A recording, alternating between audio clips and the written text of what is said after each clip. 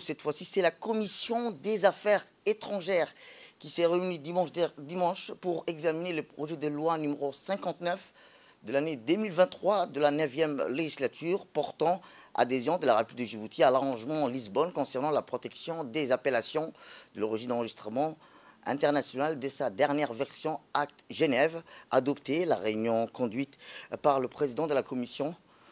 le député Abdulrahman Awal Yassine s'est tenu en présence de M. Mohamed Warsamediriye, ministre du Commerce et du Tourisme. Rappelons qu'à la suite des échanges, la Commission des affaires étrangères a approuvé la transmission en séance publique avec son avis euh, favorable.